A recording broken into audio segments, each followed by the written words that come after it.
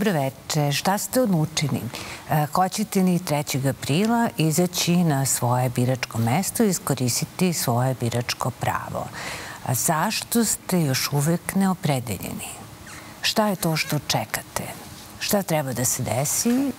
Ko treba da se pojavi? Šta treba da kaže? Šta je vaš utisak? Da li oni koji učestvuju ove godine na u izbornoj trci, da li su oni razumeli šta je to što vas čini zaključane u svojim kućama? Da li imate utisak da uspevaju da otkriju koji je to ključ koji može da otvori vrata vaše kuće, da se izvučete 3. aprila ili vrata vašeg srca. Večeras su emisiji Utisak nedelje. Dragan Đilas, predsjednik stranke Slobode i pravde. Dobroveče. Dobroveče. Duško Vujošević, košarkaški trener i nosilac liste za Beograd, koalicija okupljene oko Borisa Tadića pod nazivom Hajmo ljudi. Dobroveče. Dobroveče. Nebojša Romčević je profesor Fakulteta dramskih umetnosti, dramski pisac i jedan od potpisnika sporazuma odgovornosti Apela 50. Gledate me u čudu. Sam li? Jeste. Dobro, dobro. Dobro. Ajmo da stanemo ovde, raspravljat ćemo u pauzi pa se vratimo ili jeste ili niste. Vidimo se brzo. E, da, još jednom dobroveče. Dragan Đilas, Duško Ujošević, Nebojša Romčević. E, I rekli smo da ćemo o tome da govorimo, dakle da vidimo e, šta je to i da li Dragan Đilas i Duško Vujošević razumeju šta je to što vam fali da se izvučete iz kuće 3. aprila i Nebojša Romčević ovde kao čovek koji će prosto da nam pomogne da vidimo šta njemu fali ili mu ne fali ništa ili je već prelomio. Vučem se na njegovu izjavu od pre nekoliko dana koja je glasila verujem da će ovo biti poslednja zima našeg nezadovoljstva. Sad, da li to bila umetnička sloboda ili realno uverenje. Ali pre nego što uđem na ovo, moram da vas pitam ono što čini mi se pitaju svi u bilo kom studiju na zemaljskoj kugli ovih dana za početak, a to je dakle rat u Ukrajini.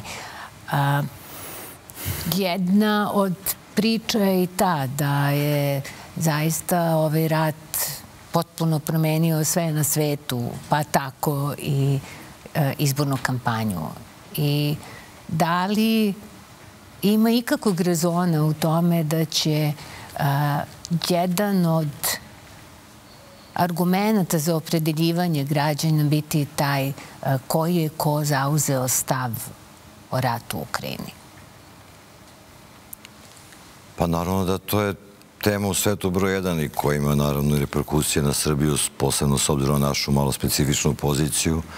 S druge strane, ljudi se plaše i da će taj rad da se proširi sutra i na Balkan. Pogledajte reakcije kada izađe predsjednik države i kaže da imamo svega, svi odmah pravu radnju i pošto mu ne veruju, naravno, i pokupuju sve što mogu da pokupuju. U jednom trenutku to postane glavna tema pa se manje razmišlja o drugim temama, ali mislim da ne bi baš bilo ni pristojno da pričamo o ratu u kome hiljade ljudi ginu, a milioni ljudi će biti izbjeglice, kažu će preko šest miliona ljudi biti izbjeglice iz Ukrajine, to je cela jedna Srbija, da mi sad pričamo da li to utiče na kampanju i na izbore. Jednostavno, to je jedna strašna tragedija kad pogledate sve one scene i sve što može da se vidi i Samo da kažem da ono, da svako normalno čovjeku je žao kad se to vidi i da želi to što prestane, mislim, ništa drugo. A kad se kaže to, da, mi ćemo se odlučivati u odnosu na to kako se koja stranka i koja politička opcija odredila prema toj stvari. Iako će iko odlučivati, iako koliko je to tačno, šta je onda stav stranke Slobode i Pravde? Mi smo naš stav iznali prvog dana. Vidim da neke kolege iz opozicije nisu taj stav primetile, vratno zbog toga što je kampanja i milion informacija. Prvog dana smo rekli da osuđujemo invaziju Rusije na Ukrajinu. To je normalna stvar, da osuđujemo rat kao način rešavanja bilo kog problema. da smatramo da bolje se priča ne znam koliko desetina puta nego da se ratuje, da će stradati civil. Na kraju mi znamo kako izgleda rat i šta su posledice. Rekli smo da poštujemo teritorijalni integritet Ukrajine kao članica UN. Šta ste rekli o ovoj sankcije Rusije? Evo reći ću vam i to. Ali smo rekli da očekujemo i da je svet poštuje integritet ove države. Kao što smo upozoravali 99. da presedam da se bombarduje jedna zemlja bez odluke Saveta bezbednosti može da ima reperkusije i priznanje Kosova kao drugi presedan. Nažalost, to se danas dešava. E, što se tiče sankcija, ja ću vam iznati stav svoje stranke o tome, uz napomenu da se pojavljuje argument da mi treba da prihvatimo sankcije, ali to traži Europska unija. To je jedan od argumenta koji se pominje. Ja sam čovjek koji se zalaže za članstvo s Europskoj uniji i borim se za to 30 godina. Ali to nije argument zato što mi nismo članica Europske unije i zato što Europska unija, ako tako tretira ovaj prostor, treba da sutra da nas primi u Europsku uniju. A ne da se od nas traži da imamo jednu vrstu politike, a kad dođe COVID kriza, onda će Hrvatska dobiti 7,5 milijardi evra bespovratne pomoći, a mi 80 miliona. Onda će čutite 10 godina to što radi Vučić i režim SNS-a i neće biti problem. Onda pomozite malo da nam ne idu ljudi odavde da svi rade po Evropi, ili su ovde plate male, ili je siromaštvo i tako dalje i tako dalje. Znači, to je jedna stvar. Znači, ne mislim da je to treba da bude argument. Što tiče sankcija, ja ću vam reći najiskrenije moguće. Ja sam čovjek koji se zalaže protiv toga da Srbija bilo kome uvede sankcije, bilo kom narodu, jer znam kako je to kod nas izgledalo. Nama su uvedene najstrašnije sankcije. Nisu bi te sankcije prvo ni za Miloševića, ni za Šešćelja, ni za Vučića, ni za njihove biznismene, naproti. Sankcije su bile problem običnom narodu i onima koji su bili za Miloševića i nama koji su bili protiv Miloševića. Nama se život je bio gori iz dana u dan. Njima nije bio gori iz dana u dan. Kada pričamo o Rusiji, vi u Rusiji imate 15.000 umetnika koji su potpisali apel da stane rat. I njima su uvode sankcije. Po istraživanjima polovina Moskve je protiv rata. I njima su uvode sankcije olimpijci, paraolimpijci, znači ljudi, invalidi, su vraćani s olimpijade zato što su iz Rusije. Izbacuju se neki studenti s univerziteta. Znači, sankcije, ako uvodite, onda uvedite sankcije koji pogađaju one koji su gurnuli zemlju u rat, njihova odluka ima posljedice u ovim mrtvim ljudima, ubijenoj deci, u milionima izbjeglica odličanih gradova. Nemojte uvoditi sankcije običnim ljudima, zato što to, apsolutno, za to ne postoje argument. E, danas je e, kandidat vaše koalicije za predsjednika Srbije, Zdravko Ponoš, izneo u javnost da ima saznanja da je predsjednik Srbije, Aleksandar Vučić, dao obećanje ili zahtevao da se u ovom trenutku na njega ne vrše pritisci da uvede sankcije Rusiji, ali da će to učiniti 4. aprila, dakle, posle izbora. Ili imate vi tako stavljenja i da li je to prosto tačno?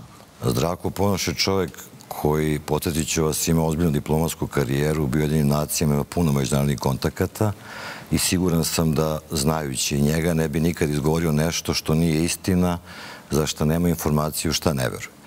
S druge strane, kad pogledate ponašanje Aleksandra Vučića u odnosu na zahteve koje dolaze ka Srbiji u ovih deset godina koliko je vlast, vidjet ćete da sve što je tražilo njega, on je ispunio. Dakle, ja verujem da posle 4. aprila, kad bi oni pobedili, da bi oni zaista uveli sankcije, je kao što rekao Zdravko Ponoš, ono što je važno, i ja isto tako verujem da i neće pobediti i da oni neće biti nova vlast i neće biti omogućeno da donose bilo kakve odluke u ovoj zemlji posle 4. aprila. Šta je vaš stav? Evo, ja sad vas, to mi je sad, uh, ja kad vas pitam, jer vas ja pitam sad kao Duška Vojoševića... Da, da, kao Duška Vojoševića. Dakle, ne pitam vas kao... Ne, ne. I vi ostajete nestranačka ličnost. Dakle, vaša, vi ste nosilac liste, ali niste postali član stranke. Ne, ne. Sad ću da vam kažem, znači ja ovaj, prvo volim ruski narod. I svi smo odrasti na ruskoj kulturi. Dostojevski, da, da, da, da ne pominjem ovaj, sve te i pisce i muzičare i sve. Ali e,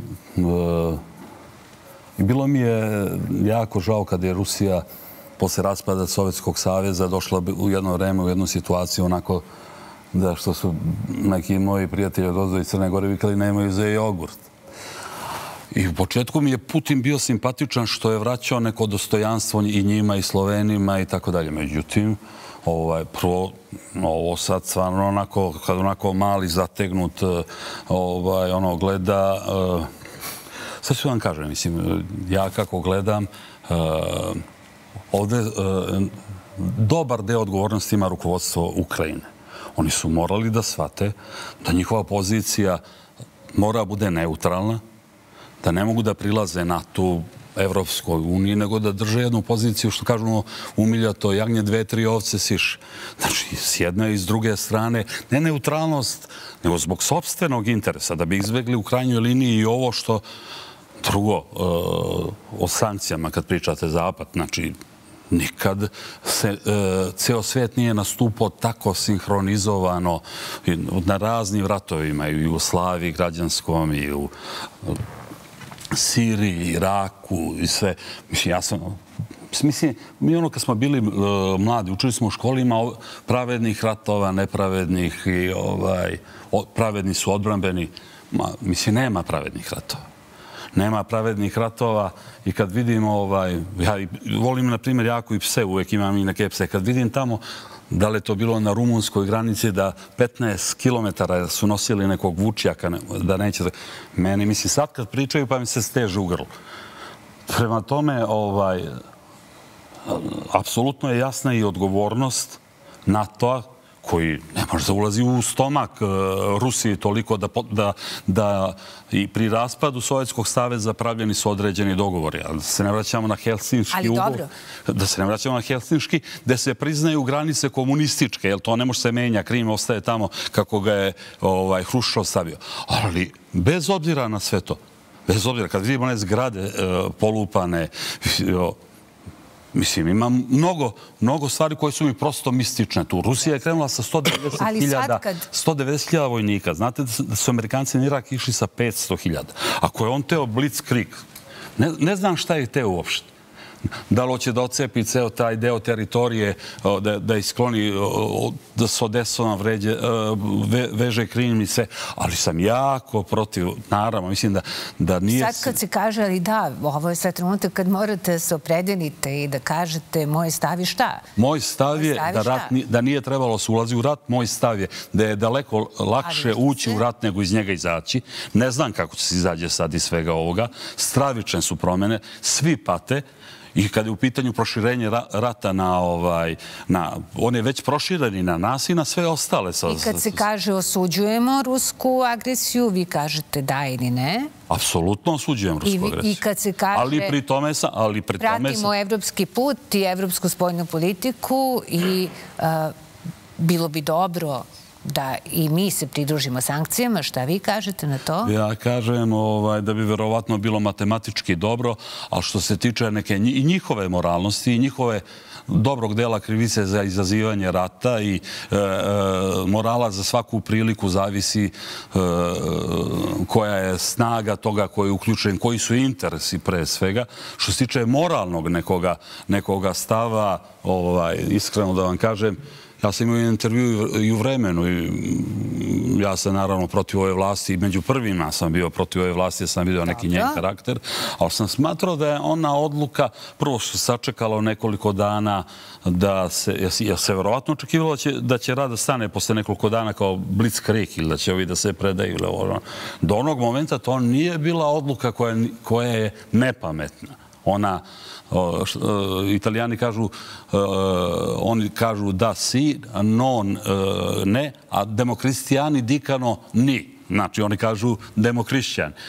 Mi smo u takvoj, takvoj nekoj poziciji da je Šta je ta... Ne... E, za nas je važna ta odluka, razumete? Pa ajte, pa ali koja je... Za nas je važna ta odluka. Pa ako se ide u taj evropski put, a iskreno da vam kažem, ja koji sam u Sofiji, koji, osu... koji osu... ja ko osuđujem Putina, ne bi voleo da mi Rusi dođu ovde da... i da budem pod ruskom čizmom. Eto. Znači, Evropa je put i sad u sklopu toga puta ovaj, uh, verovatno će morati da se, da se prihvate te sve odluke, ali ih ne smatram nešto posebno moralnim i da ih donose moralni ljudi koji se u svim situacijama ponašaju slično u svim situacijama. Prosto nije crno-bela situacija. Znam da nije crno-bela. Nije crno-bela. Eto, to... Nije ni crveno-bela. Evo, nema, pitanje je za vas. Treba ja da... Ovo, pa, e, prosto, e, pa... mislim, ni Duško se nije izjasnio, tako da ne znam što, što biste morali vi. Ja sam u udobnoj... Pa, izjasnio sam se ja. kao izjašnjavanje. Ja sam u udobnoj poziciji nekoga ko, kako bih rekao, može da se izjasni na nekakvoj ravni abstrakcije. Za mene je ovo sudar carističke i kolonijalističke demagogije koji plaća ukrajinski narod. Eh, ono što eh, je potpuno jasno da ni jedna strana niti teži istini, niti teži dobru, niti je zanima sudbina ukrajinskog naroda. Ukrajinski narod se našao, kao što se srpski narod našao kada je Kosovo u pitanju, samo kao jedna vrsta poligona gde se tuku među sobom dve demagogije koje su obe jednako lažne i jednako prljave i e, tu e, bi bilo jako lepo da je svet tako manihejski podeljen na dobro i zlo i da vi možete s lakoćom da prepoznate zlo i da glasate za dobro. Ali više ne postoji čak ni, ni iluzija da mi možemo identifikovati dobro. Zlo je samo ima dva različita oblika, dva različita, ne mogu da kažem, različite doktrine, ali u pojavnosti su iste. To su krvavi, utilitarni sistemi koji gaze preko ne malih naroda, preko svega gaze da bi ostvarili nešto što je u ovom trenutku mom intelektu nedohvatno.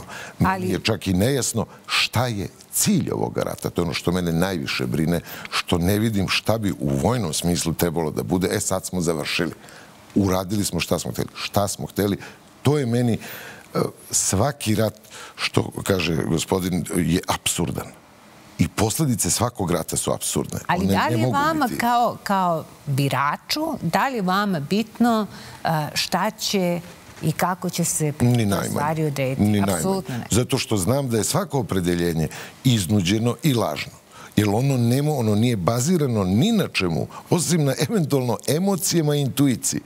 To ne može da bude nešto što, što me opredeljuje. E, dobro. A sad da se vratimo na ono kako smo počeli. Ili imate vi e, neku diagnozu?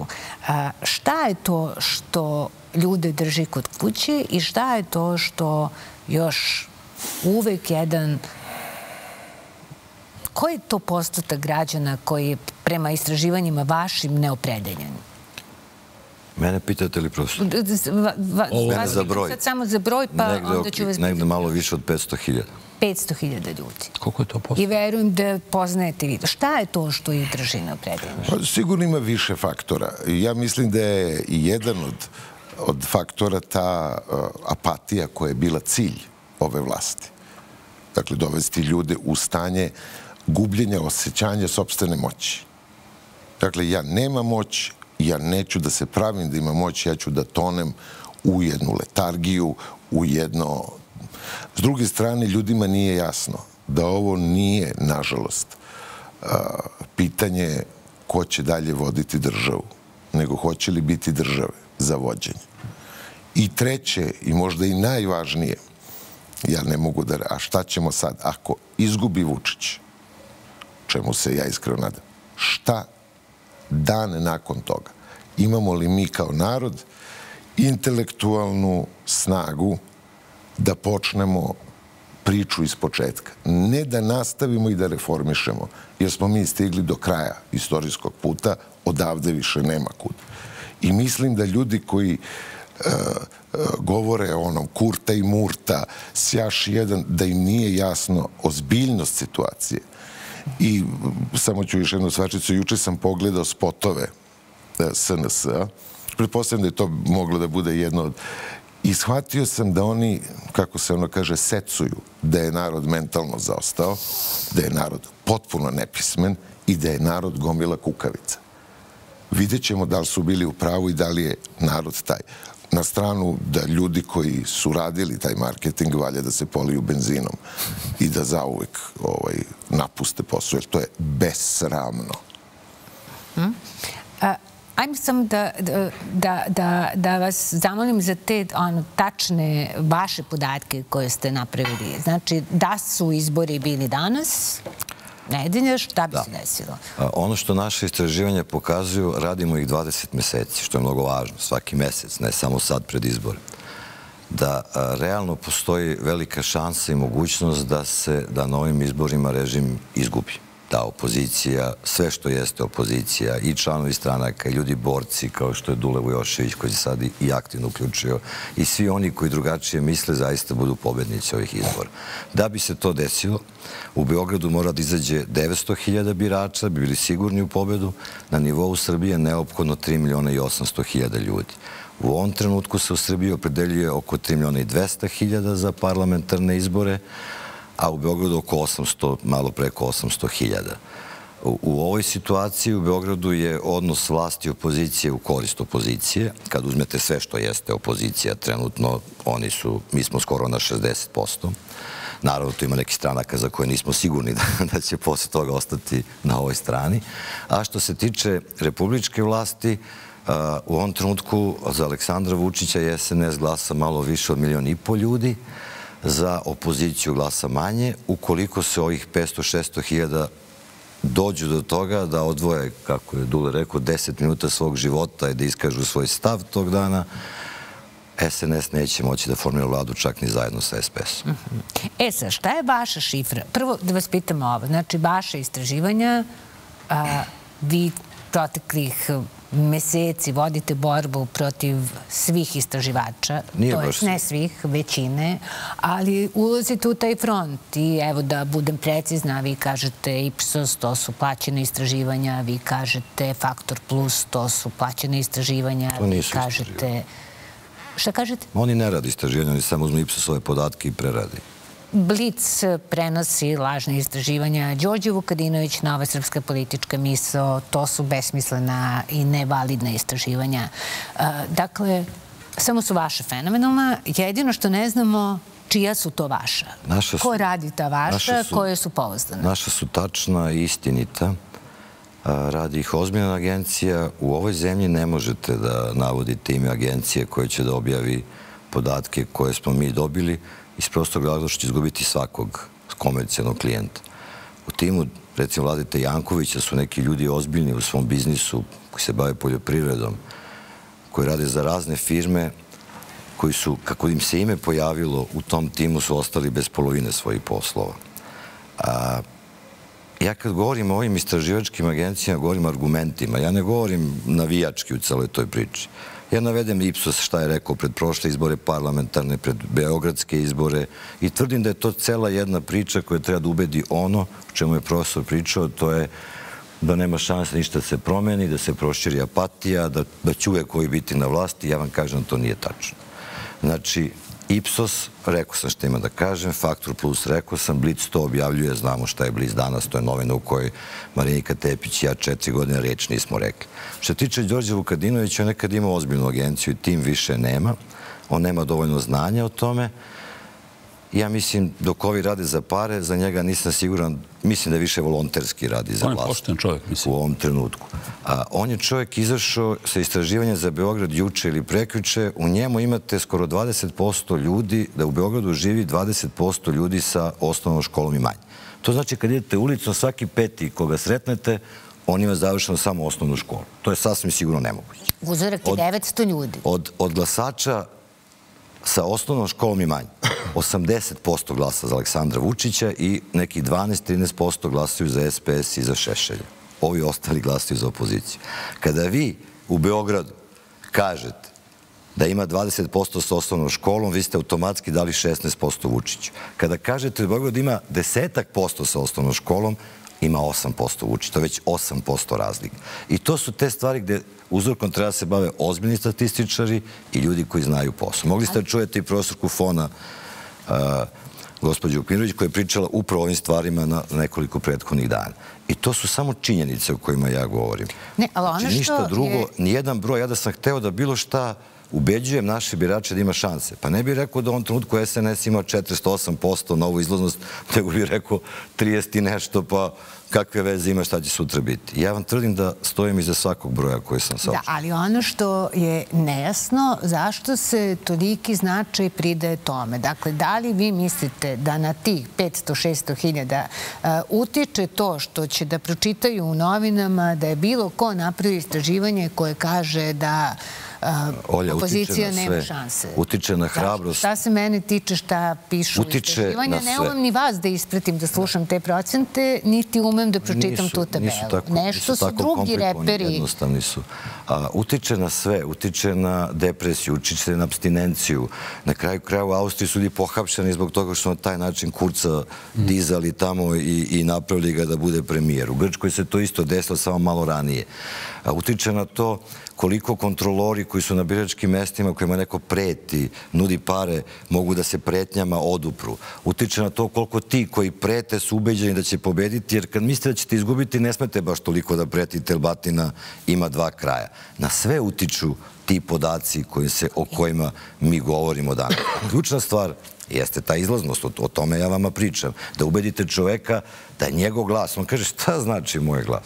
3 miliona i 800 treba da glasa. Pa jedan moj glas neće ništa da promeni. Hoće.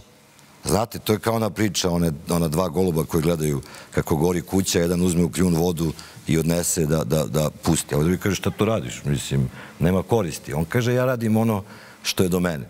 Ako se hiljadu golubova priključi tome, mogu požar, mogu požar da ugase. To nama treba ovdje u Srbiji. A šta je šta je, šta je vaš argument? Kako biste vi jednog jedinog pozvali da izađe? i da mu kažete da nije u pravu i da stvarno u sred svega ovoga što slušamo da njegov glas ima šanse. Na, Najteže je ako neko ne vidi da je ovo belo, dok, tome dokazati da je to belo. Mislim, svaki glas ima ovaj, važnosti, to ne treba da se dokazuje. To nije teorema, to je aksion. Ali ovaj, treba poći od toga zbog čega ovaj, ljudi ne smiju da glasaju onako kako kako misle i šta bi želeli i zbog čega ne izlaze da glasaju. Pošto je sad to postaje ključno pitanje da se se pretpostavlja da su ovi koji glasaju za Srpsku naprednu stranku vojska disciplinovani, oni i po kiši i u svim situacijama će da izađu.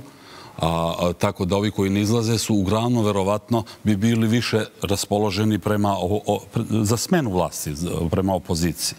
Imate jednu stvar da je pritisak e, na ljude da glasaju za e, naprednu stranku, pritisak u smislu da imaju interese, jer e, određeni broj ljudi u ovoj kadrovskoj e, šemi koja postoji mogu da budu na tim pozicijama samo pod uslovom da je e, Vučić na vlasti i da je napredna stranka na vlasti. I oni se bore grčevito za njega, ja se bore i za sebe. Dobro, ali to su ti za koje znamo da će da izađu i da će da glasaju za vlast. Šta ćemo sa ovima što su neopredeljeni? Da ih ubedimo. E, kako ćete da ih izvučete iz kuće? Vi, Duško Vujošević, kako ćete da ih izvučete iz kuće? Meni e, sa strane što je... Mislim, opozicija ima u ovoj vlasti jako tešku, prava opozicija, jako tešku situaciju i poziciju. Oni e, imaju lične probleme, čak i se i porodični problemi stvaraju, zbog toga imaju probleme. Ja, na primjer, ne mogu da radim svoj posao ovdje, ne toliko zbog e, ove dijalize na koju idem, jer bi i u sklopu i na e, to celokupno moje zdravstveno stanje mogla se nađe neka formu koja bi bio koristan za bilo koju vrstu posla u košarci, ali... Ali to nije moguće. To nije moguće zbog toga što... Taj klub bi nestao. Jeste, prestalo bi e, finansiranje toga kluba i sve. I sad... Postoje ona teorija e, izazova gde se smatra da je problemi koji se stavljaju pre čoveka, ako se, s jedne strane su i prilika da on napreduje. Da napreduje, a osim ako su ti, ti, ti, e, ti, izazovi dnevno jako veliki, onda za eskime objašnjavaju da ih oni savlađuju, ali ne mogu da napreduju jer su oni preveliki. Prosto i ova opozicija koja je u strašno teškoj poziciji. Ja poštujem svakoga ko, se, ko je prava opozicija i, i ko tome prilazi i ne plaši se da to o, kaže, jer gubi od svog komoditeta, gubi, ulazi u, u, u lošu po, u, ovaj, poziciju e, i na poslu i u svim nekim segmentima, ali prosto su ti izazovi morali da se savla, e, da ovi teški izazovi za opoziciju su istovremeno i trening da, kad, e, da pokaže da kad dođe na vlast je sposobna da probleme koje onda čekaju, koji će biti isto jako veliki, zatečeno stanje u državi i tako dalje, da su stanju da savlade. I ono što je meni posebno smetalo je e, što neujedinjenost opozicije, govori meni kao kao ovaj, e, e, nekome ko je glasač, ko navija za to, ko je jedan od prvih koji je to pokrenuo, je sam prepoznao e, tehnologiju, način vladanja apsolutistički ove vlasti, mešanje u sve, sve situacije gde odluke donosi jedan čovjek i tako dalje. I ono, znači, pod jedan, imaju i opozicioni političari obavezu da postanu tim. Ja znam i u ekipi Pa znaš, i, e, i, i, i kao trener znaš loše strane svojih igrača koji imaš. Oni drugi što, što ih ne poznaješ, dobro, ne, ne znači da nemaju loše strane, nego i samo ti nisi upoznao iznutra. I da to mora stvarno da, da se funkcioniše timski, da se ima jedan opšti cilj, jer ova vlast nije ni najmanje naivna. Vučić e, jako puno radi na tome da ostane na vlasti, zna tehnologije, manipulacije, kontrole, štampe, svega toga. Ima veliku količinu para. On ne može da se zaduži pred izbore kod što je radila demokratska stranka, računajući da kad dobije izbore će da vrati te dugove. Pa kad izgubi dan, danas ne može da izađe iz, iz tih finansijskih problema. Oni su hiljadu puta više obezbedili pre toga te pare. Znači, ono što ja mora, mora, očekujemo od svih ljudi koji su u opoziciji da sarađuju da bez obzira što znaju jednim drugima mane i, uh, i drugo, da, da ne može ni da se borimo protiv jedne vrste apsolutizma nad uh, drugom koje ima sličan način vlad, tendenciju nekog skupljanja vlade. Sad govorite kao nosilac liste ujedinjene opozicije, a vi ste ipak nosilac liste uh, jedne koalicije koja nije u tom krugu. Ali evo, ovo, ću, ovo, ovo hoću da vas pitam. Dakle, ako ste vi taj koji treba da izvuče nekog da... Mo, ja ću mu reći ono što sam rekao već. Ne, ne, ali kad vi, vi ste jedini čovek, dakle, jedan od redkih koji je pristao ovo što vi kažete da se izvuče iz svog ono, komfora i da se... Da se izloži. Da, da se izložite, ok. Ali ste, je, tu ste jedan od redkih, ali mislim da ste jedini na svetu koji izjavljuje a, ja bih voleo da budem Goran Vesić. Dakle, takav slučaj još nije uočen. Sad ću da vam kažem. ovaj, ljubav između Gorana Vesića i mena ide još od, eh, od košarke. I on me je stavljao na sud zbog izjave. Kad je, ovaj, jednom je bila uh, organizovan prekid utakmice od strane protivničkog kluba gde je on bio u upravi gde su, oni su bili u Kovilovu i jedan od e, trojice tih, e, znači nije Žika Aranđelović, a bili su tu Žeželj i ovaj, Vesić, vodili su klub, su otišli tamo u Kovilovo da je bila ekipa i rekli su im, igrajte, borite se, bit će sve u redu, ako budu neki problema i neki prekida, ne brinite se, vama će to da bude, uh, vama ništa neće da se desi. I onda, pošto su bili kumovi nekih igrača, e, očevi, pa su oni javili jednim drugima, pa je meni javljeno pre utakmice da je bio sastanak te vrste. I kad se, to, se, to je bila neka utakmica kad, kad smo mi preokrenuli na svoju stranu. To, su, to je bacana mokraća u, u ulja e, po, po terenu. Mislim, i prekinute utakmice. Stvarno je prekinuta utakmica i onda sam ja rekao ovaj, na konferenciji za štampu da je ovu prekite utakmice organizovao kreten Goran Vesić, ali da ne smijem da kažem da je kreten, jer će da me tuši. I onda je on mene stvarno tužio ovaj, oko toga i mi smo imali taj sud i sve. Okay. Onda, I sad, i sam ono, prođeš tu. godine i vi sad hoćete da budete... Sad, samo da vam objasnim. Želite... E, ne, ne, dobro, da, da, ali, da zaobiđemo šalu. Ali sad, sad, sad dakle, samo da još otvoreno kažete... Mislim, ja, ja njemu, samo da kažem jednu stvar, da ja znam da je on zvao ove e, urednike ovih redakcija, bete, ne bete, ovoga onoga, da im je nudio moju bolničku listu, da je pokušao, da je najraznoraznije prljave stvari pričao i obaveštavao, mislim, trovo e, na načine, mislim, da, da, da je tražio da sazna koji su moji ugovori, može li to da se sazna i tako dalje. Tako da, mislim, čo, kad su počeli okay, da... Samo, ajmo da se vratimo na ovo. Da se vratimo na ovo. Znači, ne, pojedinci su počeli da ja nisam kandidat za gradonača. Ok, to, to je važno da znamo. Znači, Nego, ja sam nosilac liste. Dobro. Nosilac liste ovoga koalicije Ajmo ljudi. I onda sam prosto neki tendencijozno hoće da ovaj, me prikažu kao kandidata za gradonačelnika, a drugi opet da pokažu da ja neću imati nikakve veze s vlašću ako donesem neke glasove. Mislim, ja uvek smatram da za Beograd opozicije ima šansu. A šta ćete vi biti u stvari?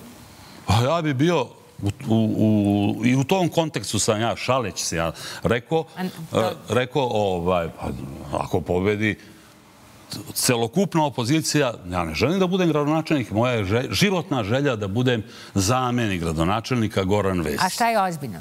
A ozbiljno... Šta, kad ja glasam za listu koju vi nosite i vi mi kažete da to ne pa, znači da se pa bio bi u nekom, u, u nekom onom odboru koji se bavi sportom, e, moguće i u nekom telu antikorupcijskom, jel ovaj, ovo i ljudi koji su pratili sport, koji prate i Zvezdu i Partizan, znaju da što se tiče e, da nisam uzeo jednu banku koja mi nije pripadala i da ne podnosim ljude koji e, neke društvene pare koriste, pakuju, uzimaju velike pare i Ok. Šta je, šta je vaš utisak? E, dakle, ako bi jedan od tih odgovora zašto ljudi su apatični ili zašto ne veruju, bio i ovaj o kome je malo prigovorio i Duško. Dakle, ta primjedba da se opozicija pokazala kao nesposobna da se ujedini. I sad da ne pričamo iz početka ko je i zašto, evo sad je, tu smo na, na tri nedelje. To je priča koja se vrti od kad postoji opozicija. Od kad imamo privid demokratije i privid republike u despoti Srbiji, znači od 90-ih. Mi nismo, po mom dubokom uverenju, nikad imali politički život, niti smo imali republiku. I ta priča o tome da bi opozicija trebalo da bude jedinstvena, može biti jedinstvena na mnogo različitih nivoa. Ja se užasavam, i to sam više puta rekao, ljudi to tumače kao blasfemiju, da je samo sloga Srbina spasava najpogrešnija ideja zajedništvo spasava, ali jedinstvo u mišljenju je potpuno kontraproduktivno. Mi moramo naučiti da možemo ići u istom u istom smeru iz različitih pravaca. I meni ne smeta uh, razjedinjenost, šta god ona bila. Ako bi ona bila akciono funkcionalna, neka, kako se to danas kaže, in sync. Da li vam u ovom trenutku uh, Eh, akcijono-funkcionalna ovakav raspored snaga. Dakle, eh, imamo eh, nosioce liste za Beograd koalicije oko stranke Slobode i pravde Vlade Tojankovića, imamo Duška Vojoševića, imamo Dobrica Veselinovića kao koaliciju Moramo, imamo oko ove koalicije NADA, Znači, je vam deluje da je problem što ih ima više ili da je to dobro? Dakle, da li to smanjuje šanse da se pa pobedi u Beogradu? Tu bi, Dragan, bolje, to je igra brojeva. Od jednog trenutka je to jako loše, do jednog trenutka je to dobro. Dakle, jednom zadku se stvar toliko može rasitniti da izgubi svaki smisao. E, ono u što sam ja uveren, a to je, na moju žalost, sam uveren da će se glasati protiv, a ne za. Dakle, protiv Vučića sve jedno za koga. Samo da nije on. Kao što je Vučić došao na vlast, je se glasalo protiv Tadića. E, to je vrlo zanimljiva sociološko ili sociopsihološka stvar koja se tiče našeg biračkog tela, koje ne ume da prepozna za.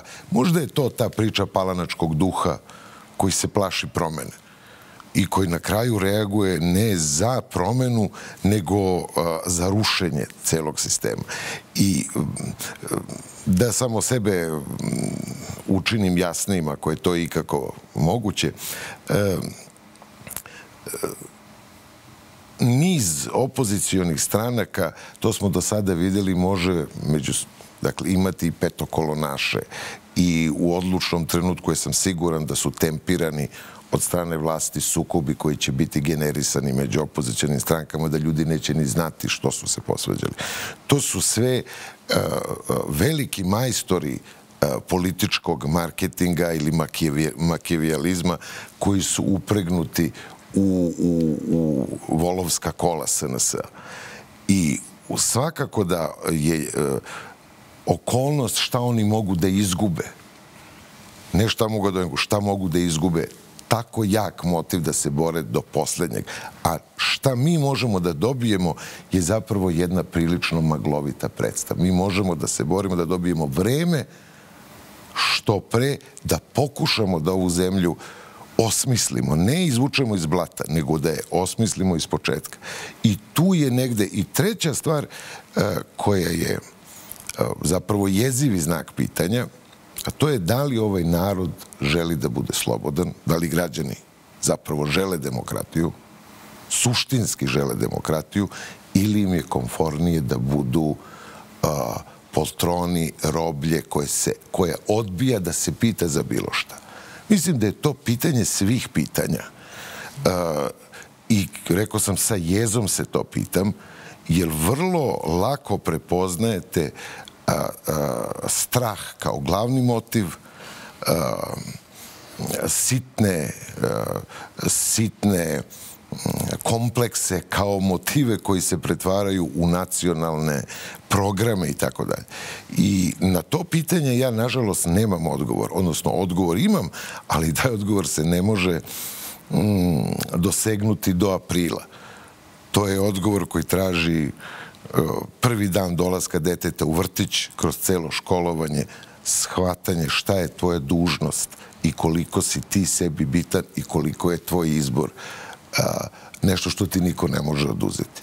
Ali ono što je još e, novost, osim ovoga da bi neko volao da bude Vesić, je e, novost i e, poruke koje sam čula i od vas u vašim javnim nastupima i od Duška Vojoševića. To je poruka koja glasi, evo, tri nedelje pred izbore, e, izađite na izbore, I ne morate glasati za nas, odnosno za nas, glasajte za koga hoćete, samo Bez straha. Bez... bez straha i glasajte. Ne sjećam se da je to nekad bilo u nekoj izbornoj kampanji običaje da kažete glasaj za mene ako se već kandidujem. Je to sporno. Ali... ali evo da vas pitam sad u ovome. Dakle, da li, da li je, vi ste govorili da Valita Janković nema konkurenta i da mu Šapić ne može biti konkurent. Ali da li je Duško Jošović konkurent Valiti Janković? Ne, nije konkurent. Pa čovjek rekao nije kandidat za Ja sam pažljivo sve saslušao, ostao sam možda, niste me pitali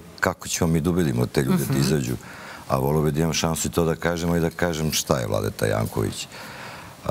Pa evo da pođem Vladeta Jankovića. Ja mislim da je on sjajan kandidat za gradonačelnika Beograda zato što je on taj jedan simbol pristojnosti, tolerancije, mogućnosti da nemate iste stavove, a da pričate međusobno i da jedne drugi ubeđujete. Ni ja, ni gospodin Janković nismo uvijek imali iste političke stavove.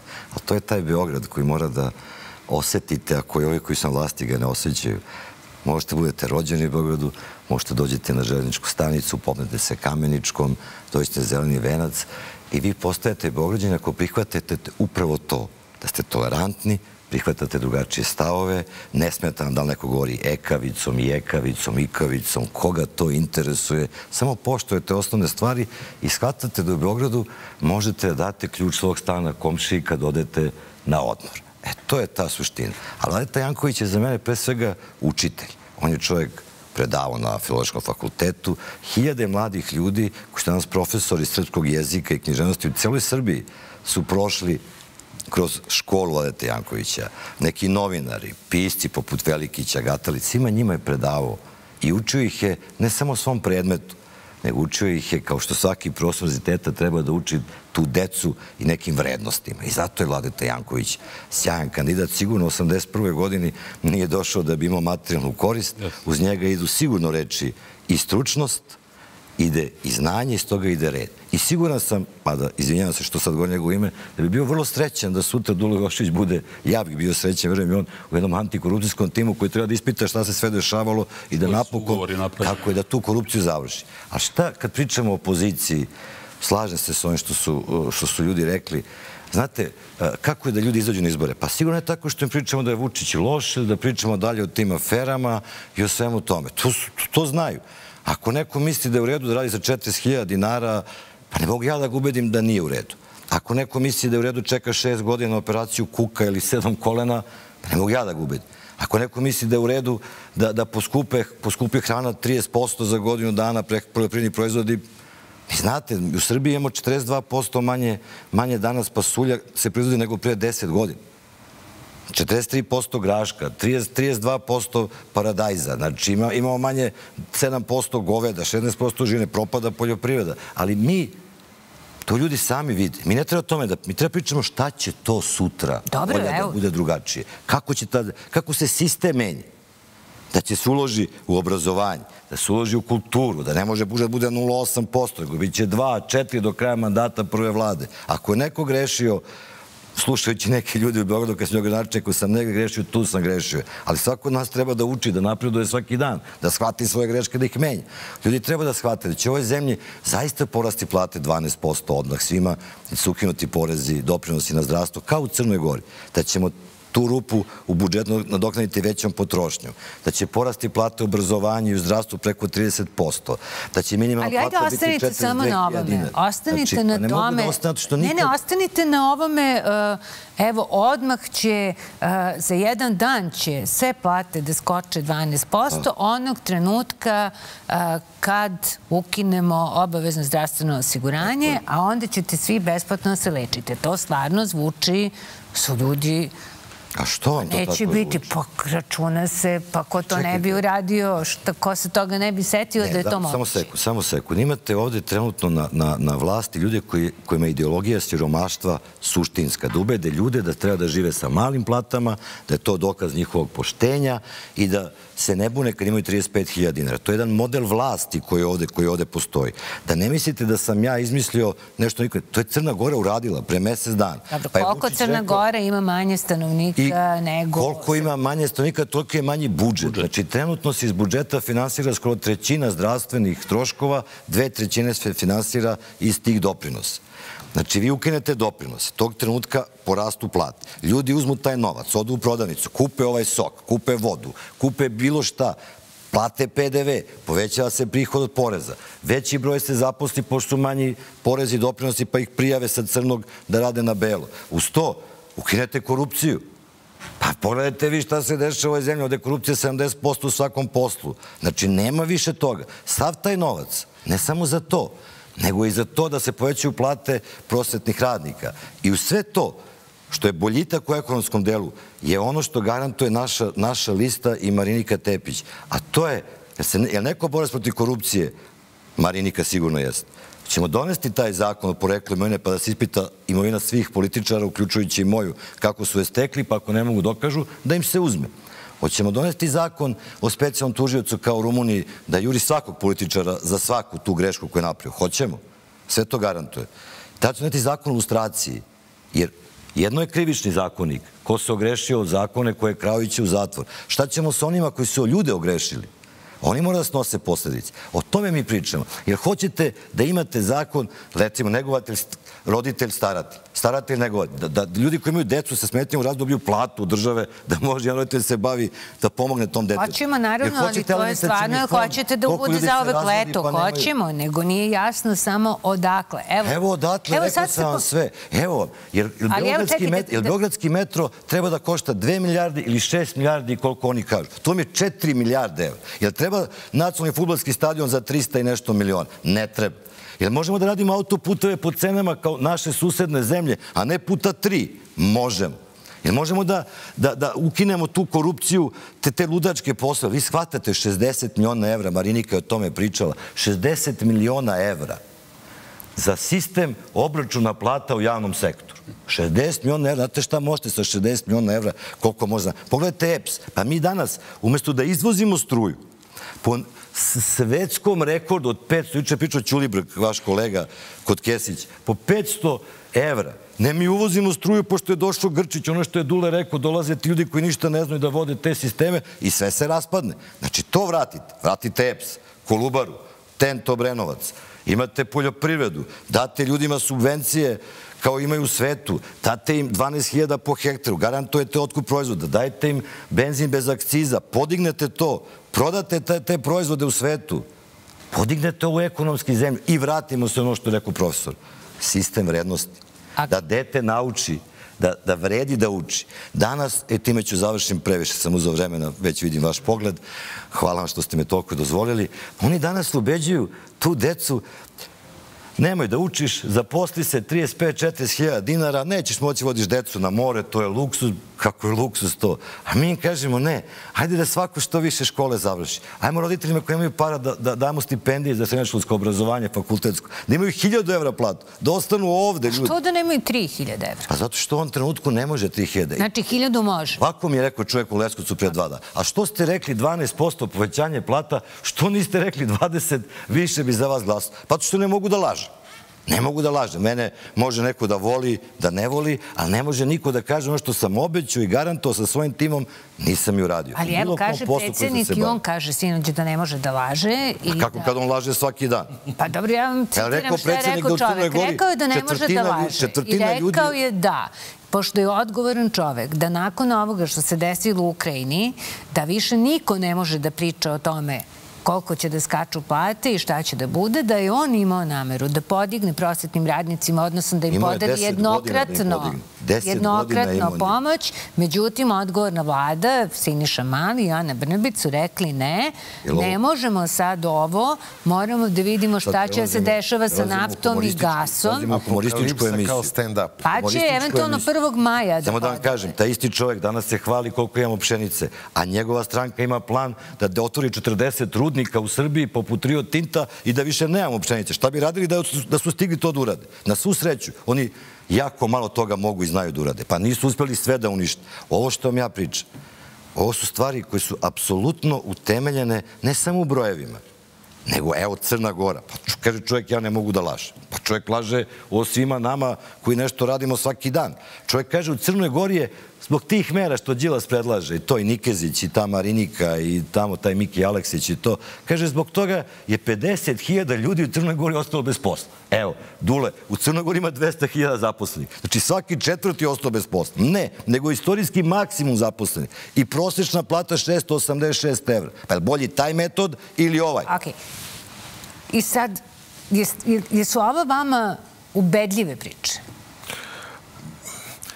Naravno da su to projekcije za budućnost. Ja e, se matematike tradicionalno plašim kad krenemo da pričamo o procentima. Ja sam odmah spreman da priznam šta god čim krene. I ja to eto.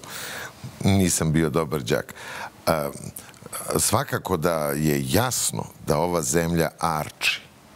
Da se ovde novac arči uh, da su se vi, kako bih rekao, obruči pukli i da kao da ne postoji sutra, sad otimamo sve što može. Ova zemlja nesrećna, ja mislim da ne može cela naša industrija da proizvede jedan složeniji aparat. Naša domaća industrija. Naši radnici su pakeri. Oni pakuju iz jedne kutije u drugu. A možda promenimo? To su te firme. Pa naravno da možemo. Možemo, naravno. Znači, da li moguće da smo mi za deset godina, do duše imali, toliko glupeli da naš posao, posao onih koji su, može da radi majmun. Majmun je skuplji da se dresira i hoće da, hoće bananu. Ali da li moguće da smo mi pristali na to da smo nesposobni za bilo šta drugo sem za proste manuelne radove? Da za nekakvo, šta ja znam, branje pamuka za nekakve, nekakve uh, poslove koji, koji ne traže, koji zapravo zabranjuju inteligenciju. u toj igri, e, e, ja zato i kažem, ovo nije pitanje ko će biti na vlasti. Ja sam duboko uvre, uvređen, ubeđen, ako bi se još jedan mandat desio, mi ćemo biti u pa zakupu sobstvene profesor, Ako već ne, u pa zakupu, ono, kad, kad mi, mi nestajemo kao narod. Nama je razlika rođenih umrlih 70.000. Znači, za, za 30 godina će nas biti duplo manje. Znači, ljudi prosto odlaze, ljudi, mi to moramo da zaustavimo nećemo zastaviti s platom od 35.000 i manuelnim poslovima, nego time što uložimo u ljude, u njihovu pamet, u znanje, da ostanu ovde, da budu plate kakve treba da budu, da mogu da ostanu da žive. Pravimo pauzu ovde. E, hajmo da vidimo kako je e, izgledala lista za prednoge od protekle nedelje. E, mesto broj 1. Dakle, ja sam sigurna da postoji još mnogo zemalja na svetu gde je ovo moguće. Sigurna sam da nema ništa prirodnije nego da e, gledate svaki dan, bukvalno svaki dan i bukvalno po pola sata uživo direktan prenos na nacionalnim frekvencijama kako predsjednik hoda. Jedino što ne znam gde ima takva zemlja i da je sve drugo normalno i da ništa drugo ne fali, da imamo samo predsjednika koji misli da je to pristojno i narod koji veruje da nema ništa logičije nego da gleda kako predsjednik hoda, ja mislim da to mnogo govori o nama. Prednog broj 1, predsjednik hoda.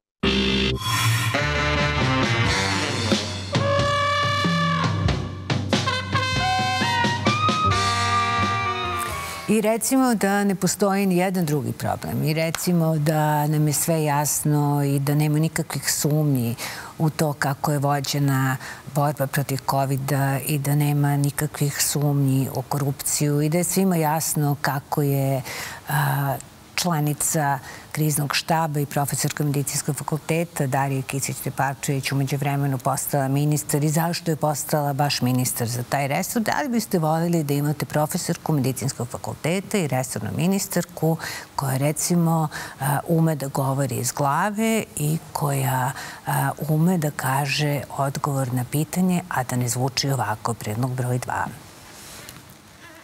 U Srbiji je napravljen značajan napredak u pogledu rodne ravnopravnosti i zakonski i u realnom životu, ali dalje se predviđa da bi puna ravnopravnost mogla da se dostigne tek za 59 godina.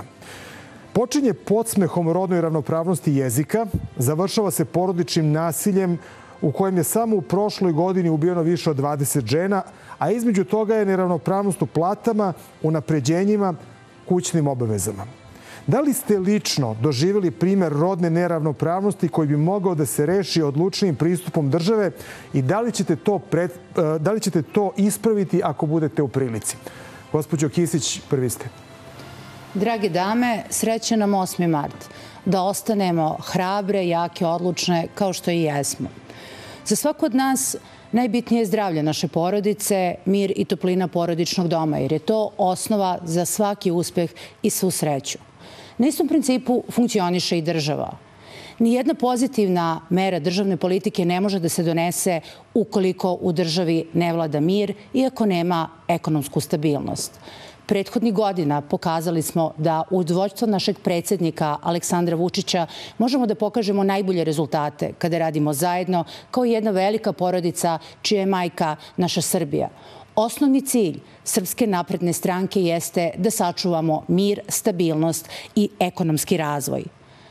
Politika mira znači da Srbija neće da vodi tuđe ratove, već će da bude isključivo vođena interesima i dobrobiti sobstvenog naroda. Mnogo puta u prošlosti smo slali naše sinove i kćeri u velike ratove koji su se vodile velike sile na račun mali zemalja.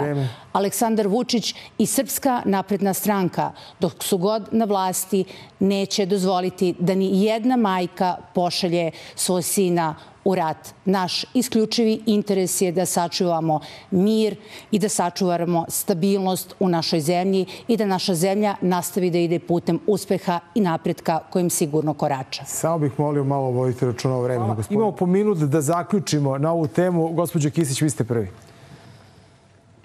Lepo je biti žena. Mi smo hrabre i snažne i na kraju krajeva bez nas nema života na zemlji. I svako od nas treba da se osjeća upravo tako kao da je svaki dan njen. Međutim, i ovaj današnji dan, 8. mart, treba uvek da slavimo i obeležavamo, zato što su se tada podigle neke hrabre i jake žene, digle svoj glas koji se čuo, čuo širom sveta. Teška vremena traže hrabre ljude, traže odlučne lidere. Upravo Srbiji treba lider koji je hrabar, odlučan, jak, koji može da stane iza svakog stanovnika svoje zemlje, koji može da stane uvek iza svog naroda. Mi imamo takvog čoveka, to je Aleksandar Vučić.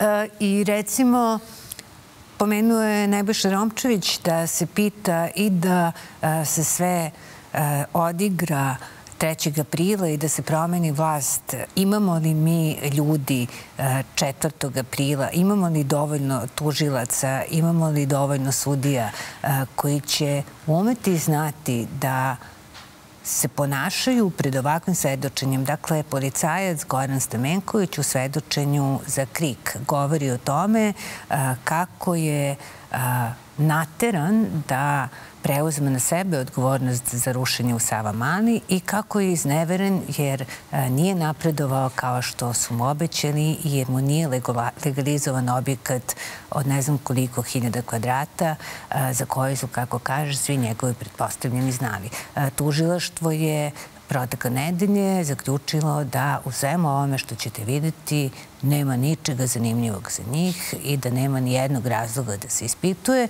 sa vrlo zanimljivom argumentacijom da je Stamenković pristao na ovu nagodbu dobrovoljno. Pošto se obično na nagodbe ne pristaje dobrovoljno i nisu podpristali predlog broj četiri. Dobio sam zadatak E, znači, bit ću veoma precizan. E, da, ukoliko bude došlo do nekakvog rušenja, e, sve pozive preusmeravamo na gradsku građevinsku inspekciju i na komunalnu policiju. Nisam imao pojma šta i kako, ali sam zato odmah u 21.30 sišao dole kod radnika i sve radnike postrojio, naglasio izdo naređenja i rekao da ukoliko bude došlo do bilo kakvog rušenja, da me, da me ne konsultuju, jer nema potrebe. Tada mi je Kostić direktno preneo zašto su me zvali i da se od mene traži da e, sva krivica za rušenje u svih objekata bude na meni da ja prihvatim krivicu. nedvosljeno mi je poručeno da ja moram da prihvatim da je to zahtev i ministra Stefanovića i da dolaze u ime samog državnog vrha tadašnjeg premijera gospodina Aleksandra Vučića da se vrši strahovit pritisak od strane Evropske komisije na Srbiju da procesuira odgovorne za nelegalno rušenje objekata u Sava Mala. E, da će država znati da ceni ako prihvatim, e, da će država znati da ceni ukoliko ne budem želio da prihvatim, ukoliko ne budem želio da se žrtvujem za taj neki e, e viši državni cilj i viši državni interes. I onda je Milić iznao da, će, da ću biti načelnik u Sopotu i da će mi biti u znak zahvalnosti omogućeno da privedem objekat nameni, da znači završim kompletan objekat koji sam započeo na ovom placu. Moj prvo pretpostavljeni i sam vrh u MUP-u i u državi su znali nije tajna da sam ja sazidao objekat nelegalno ovdje na Mirjevu, da vam kažem. Direktne pretnje e, e, sam dobio od Ivanje Hrkaloviću direktne. Kada smo završili razgovor u hodniku, znači, da se ne igram glavom, da sam pametan čovjek, da sam iskusan čovjek, da sam čovjek u godinama, e, iskusan starešina, da je ovo za vlast pitanje života i smrti i da će tako biti pitanje i za moju decu. Ja sam upoznao predsjednika kako je došlo do rušenja objekta u Sama Male. Sve. Kaže, ja ću sve to sada da, da saslušam, zvaću moje saradnike, da utvrdim i Gorane, za u narednih desetak dana bit ćete pozvani, bit ćete pozvani i ja ću vam reći šta sam odlučio, a rešit ću ja to. E, kada je bila godišnjica rušenja objekata u Sava Maloj, predsjednik je, ja sam lično čuo, ne znam na kojoj televiziji, rekao da me uopšte ne pozne. Znači, evo sada ću reći, gospodine predsjedniče, nemoguće je da me se ne sjećate.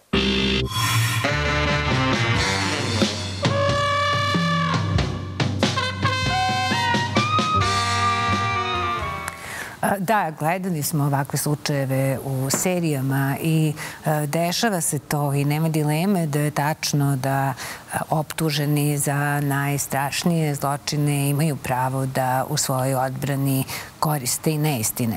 E, samo je pitanje da li ima još neka zemlja gde optuženi za najteže zločine toliko često uzimaju usta baš vrh države i dosta je neobično da predsjednik na ovakve optužbe odgovara na ovaj način. Predlog broj četiri. Samo da dodam, dakle, i da je, e, kako pišu mediji, da se Belivog ponudio da bude svedok saradnik u slučaju ubistva Olivera Ivanovića, rušenja Sava Mala i čini mi se smrti Vladimira Cvijana, ako se ne vara. A vi stvarno mislite da sam ja nekog ubio od njih? A stvarno verujete u to? A mislite da postoji jedan čovjek u Srbiji koji to veruje? Mislite da iko od njih u to veruje? Potpredsjednica e, stranke Slobode i Plavde dakle, tvrdi da ste uhvaćeni u krivičnom delu, odnosno da ste vršili e, pritisak na policajca Gorana Stamenkovića da preuzme na sebe krivicu e, u rušenju Sava Mali. Kako navodi, za uzvrat će dobiti nekakvu uslugu. Pa Jeste vi stvarno ozbiljni kada to govorite? Da li vi stvarno mislite da je moguće da predsjednik Republike, da predsjednik jedne zemlje učestvuje u ubistvima, u rušenju ne znam čega. Pri tome vam ja kažem da su mi rekli sam bih se u bager i porušio bih to u pobjela dana, a ne noću. Da, već ste da, napravim, da napravim ovako divan Beograd na vodi, ovaj ponos Srbije, ne samo Beograda. Nažalost, ne mogu sebi da priuštim da tamo živim, a volao bih.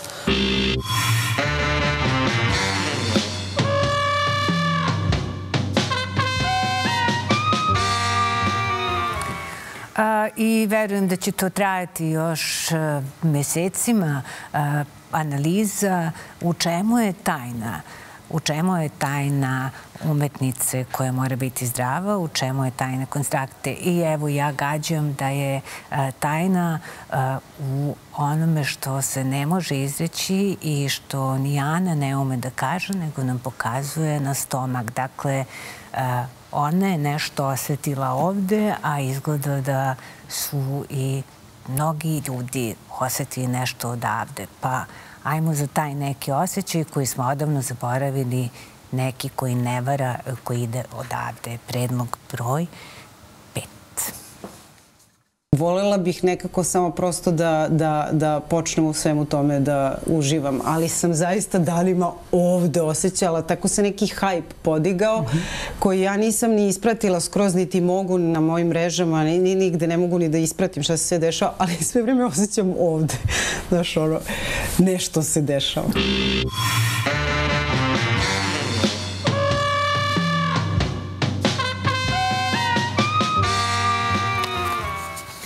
I dobroveče, izvolite.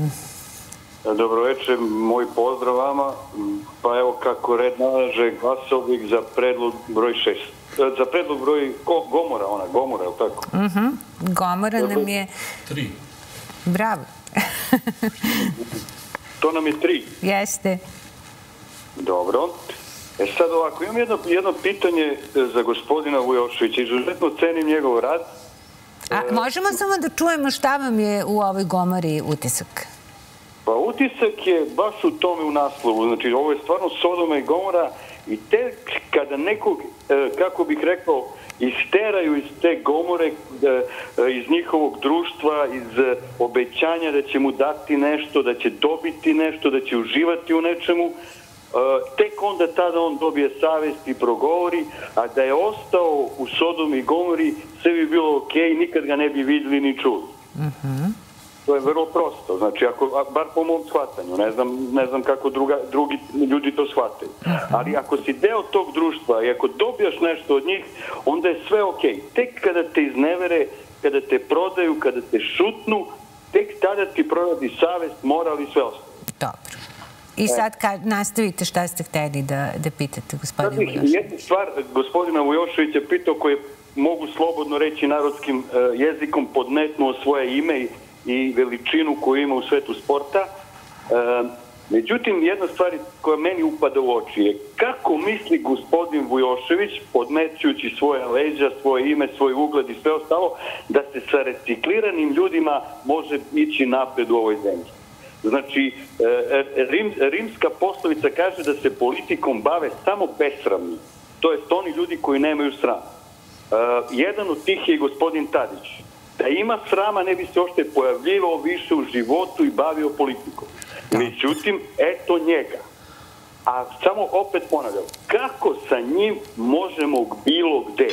Evo, znači, sad će da vam odgovori, ako vas to interesuje, odgovor.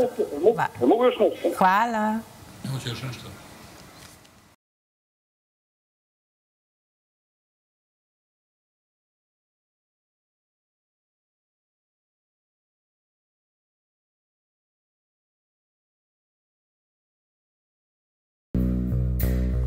Izvolite, dobroveče. Dobroveče. Izvolite. Kao prvo da pozdravim vas, gospođo Olja. Hvala vam. I da vam se zahvalim, vi ste nam jedno svetlo u mraku u kome se nalazimo deseta godina i da pozdravim sve vaše goste. Hvala. Uh, najveći po, prvo se predstavlja sam Dejan iz Beograda. Najveći pozdrav je za vaše gosta koji trpi najveći pritisak, odnosno salve napada i ureda otkad je se vratio u politiku, a to je gospodin Dragan, za koga mislimo realno da jedini može da iznese promene u ovom društvu i čija priča i lista imaju ozbiljnu ozbiljnu težinu i ozbiljnu nameru. Šta beše vaš najjači utisak? Moj najjači utisak dvomim se između svatkog greha i predsjednika koji hoda, ne zna se koji su gori ali ajde da uzmemo da bude svaki greh gospođe ministarke koja ponavlja priču ono što je nije pitano ono što nije pitana, već ono što je neko napisao. Iskreno ne može da sastavi ni dve prosto proširene rečenice sa titulom, titulom doktora medicine, što je malo ovako Dobro, a šta je, šta je, šta je u jednoj rečenici, šta, šta je vaš razlog? Zašto verujete Draganu Đilasu? Draganu Đilasu verujem prvo zato što je ostvaren čovek, pametan i što mu je svaka reč na mestu, što nikada ne laže i što od kad je se pojavio još 1992. godine kada smo sedeli kod gospodina Miloševića, imao je petlju da mu kaže ono što drugi nisu, gospodine predsjedniče, vreme je da se povučete. Dobro. A tada je za to mogla da sleti glava sa ramena. Hvala vam. Tako i sada mu verujem.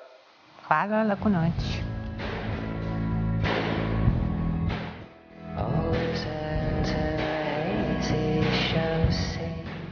Izvolite, dobroveče.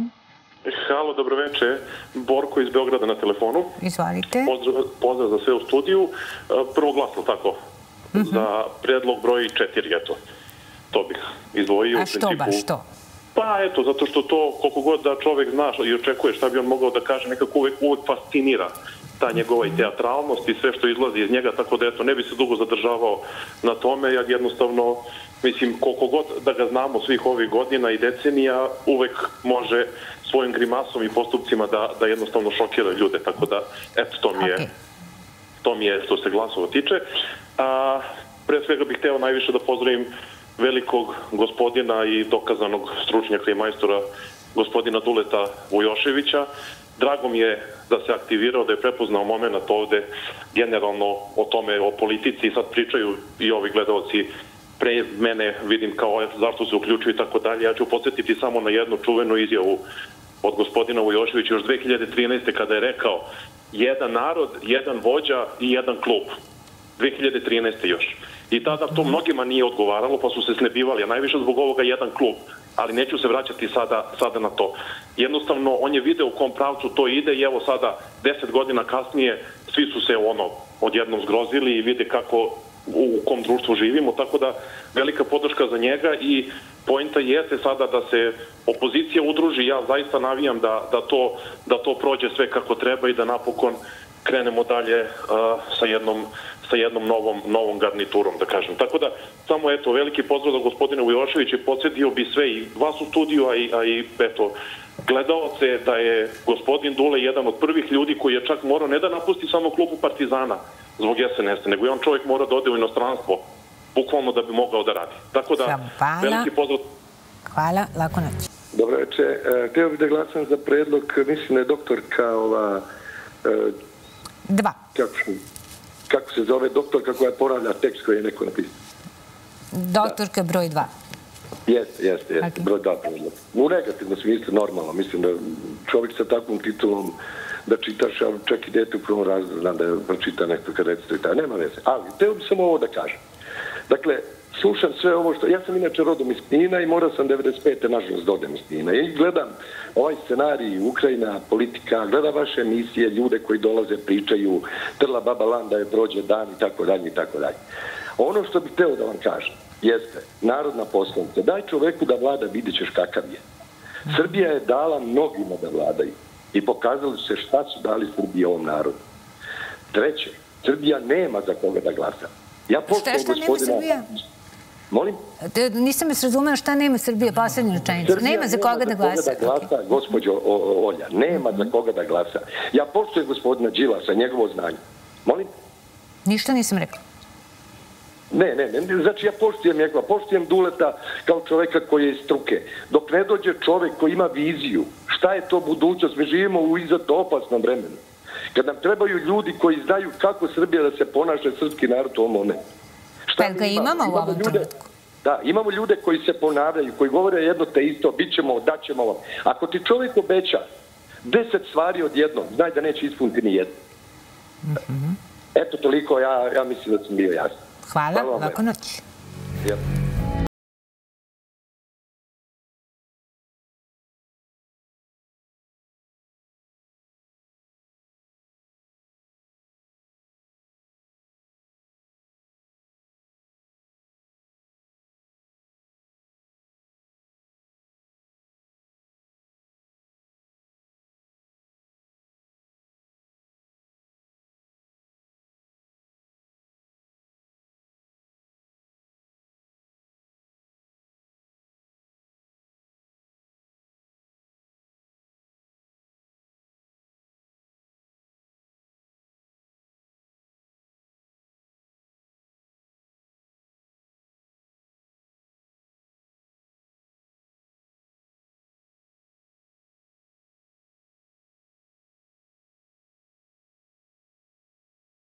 Izvolite, dobroveče. Dobro večer, Dušan Teferić iz Šapca. Želim da pozdravim vas i vaše goste večeras. Glasat ću za predlog broj 3. Pošto je to zaista gomora i nešto što nije od juče pravilo u Srbiji. To ne znam koliko decenija već postoji, međutim sad je to zaista došlo do nekog vrhunca i prosto ne može dalje. To mora, mora u jednom trenutku pući ovakav sistem vladanja i ovakav sistem upravljanja državom. E, ja bih e, imao samo jednu konstataciju i preporuku možda da opoziciju, za opoziciju, pošto sam sam opozicija, da jednostavno opozicija malo ne vidi narod i da narod malo ne prepoznaje opoziciju. Imao bih za Dragana jedno pitanje, evo kad god smo se sreli, pričali smo o poljoprivredi. Pitanje je, pošto ja ne znam sastav lista, voleo bi da mi odgovori koliko će to ljudi koji se bave poljoprivredom i žive isključivo od poljoprivrede, recimo na njegovoj listi ući u parlament i praktično zastupati interese 35% stanovništva ove države. Hvala vam. Hvala vam, prijetno.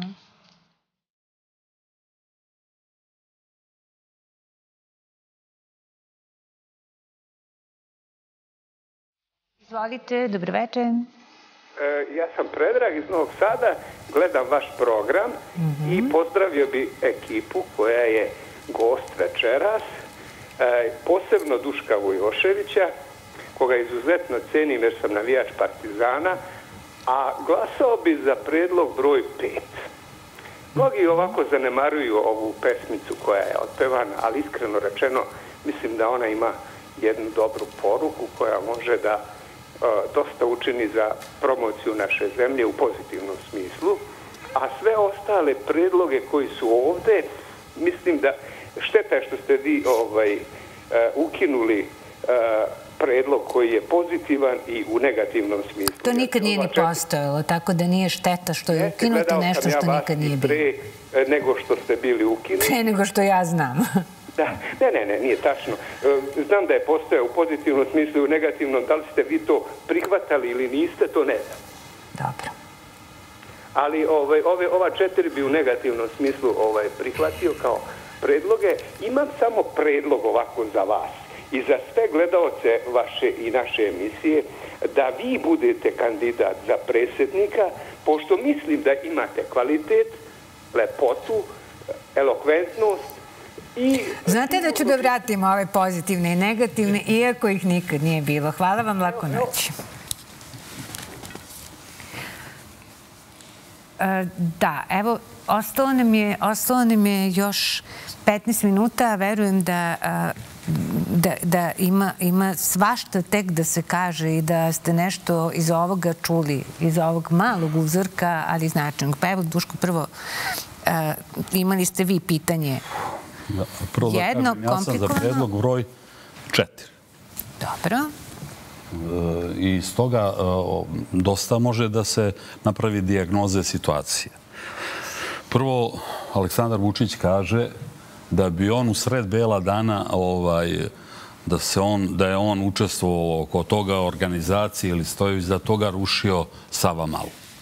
To govori o kako možeš mimo zakona da rušiš to ne, a tamo ono što je na vrhu Kopaonika, baš vam to smeta, baš, baš ste našli da vam to smeta, on kaže isti. Pe, e, sam e, Peterburg, Pet, Petrograd, je Petar Veliki napravio i to je na krvi onih ljudi koji sto, koji, kmetova koji su radili. I dan danas kažu napravljene na krvi. A Beograd na vodi i ova njihova vlast je napravljena na Sava Mali. I tu je, metaforički se pokazuje, Drugo, ova priča oko velje, oko velje nevolje. Čekajte više, dok ćete da, da, ti, da ta suđenja budu zatvorena, da Đukanović bude advokat svima i kontroliše situaciju šta se kaže, verovatno, pretpostavljam i trguju sve. Što nije otvoreno suđenje velje nevolje? I svima drugima. Što se ta suđenja ne obavljaju i ne dovršavaju? Mislim, šta treba... Pa šta vi mislite? Što sad, se... Izvinite vam kažem. Mm. Da li mi svoju tecu treba da obučavamo i osposobljavamo da nas brane od tih batinaša koji, koji brane ovu vlast? Da li, da li treba da nosimo pištolj svi, pa kad se neko zaleti na mene da zna da imam pištolj, ko što u Americi ima pravo da se nosi pištolj. Mislim, da, stvarno mislim na silu da se ide, pa posle toga da se to trguje, ne dozvoli da se čuje, e, prepakuje u neke druge stvari, mislim. Iz ovoga predloga, mislim, vidite, puno toga na čemu stoji ova vlast. Ali, ali moram da vas, da vas pitam nešto. E, dakle, mi smo čuli i e, u, u ovom istom intervju da predsjednik kaže da nikad u životu nije Belivuka e, ni video, ni upoznao, niti se čuo sa njim telefonom. Ja se sećam kad smo razgovarali 2018. godine, vi i ja, za njim, da ste se vi podsjetili nekog telefonskog razgovora razgovora gde vas je Vučić zvao u vreme kad je još bio član Srpske radikalne stranke. Još nije bio na vlasti. I se sećate tog razgovora? On je vas zvao kao vođa navijača tada da vam se zahvali, da vam ponudi neke usluge za nagradu što ste... Kao vođa navijača, mislite? Da. Kao neko ko radi sa navijačima, ja bih rekao i ko je deo te neke strukture, sad je to bila Insider, Brankica, eh, ona emisija i sad jeste to jednog momenta eh, prešlo u neku histeriju gde se se svi pred imenom navijača stavio negativan znak. Sport ne može bez navijača.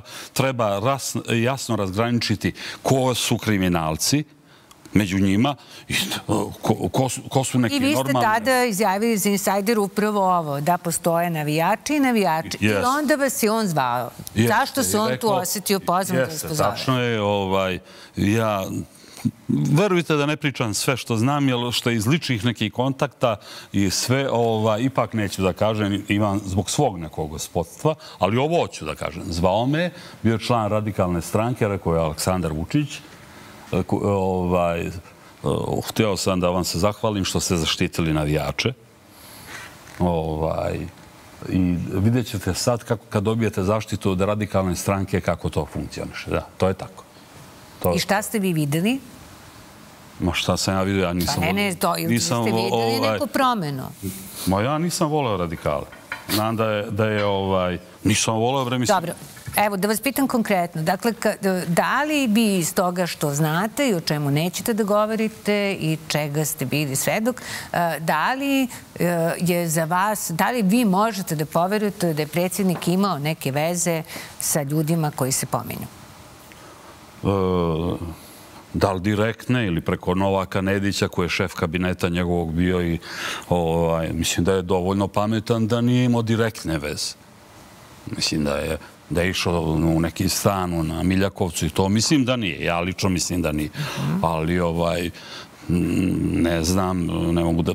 To su ovo sve moje pretpostavke, nemam dokaze ni za šta, ali da su bili pod kontrolom Srpske napredne stranke, znači ta grupa od jednog momenta gde su bili Vučko, ne, ovaj, Eh, koji je sad u žandarmeriji, Sale eh, Stanković, koga zovu Sale Mutavi i Velja, jesu bili u funkciji pod kontrolom za određene sinekure koje nisu bile male pod kontrolom napredne stranke. Ulazeći u Partizan, oni su prvo ušli u njih, koji su kontrolisali Pa ovaj, jug, pa posle toga su išli dalje futbalski klub jedno po jedno jer kako ne postoji sistem finansiranja vrhunskog sporta, uvek se ovde oni koji vode klubove primali deo vlasti koji mogu da donesu deo para pod, kao reklame e, na ovom e, tržištu koje je malo i da nema velike potrebe za velikim finansiranjem i reklamama. Dobro, ali kad se kaže kao jedno od vaših obećanja u tom paketu gde vi govorite mi ovo ne obećavamo, ovo mi garantujemo i kad se među, na tom spisku nađe i ukinut ćemo kriminal i korupciju i kad to stavimo sad u kontekstu ovih užasa, šta, kako vi imate nameru uopšte da se suočite? Znate kako? Sa tom vrstom mraka. Ja znam da, da može to da deluje tako malo i smešno kad nešto garantujete, zato što ljudi u ovoj zemlji su navikli da ih političari lašu. Ja sam čovjek koji je bio u politici, bio u biznisu, bio u sportu, u Košarkaškom savezu. Ono što sam obećao, to sam i uradio. Da li je neko mnogo desto obećanja kao vašem gledalcu ili nije, ali Deset obećanja zbog toga što je ovdje situacija potpuno katastrofalna i vi morate na svim oblastima, ono što ste vi rekli, ne možete popravljati negde nešto malo, nego morate da imate kvantne skokove u svakoj oblasti.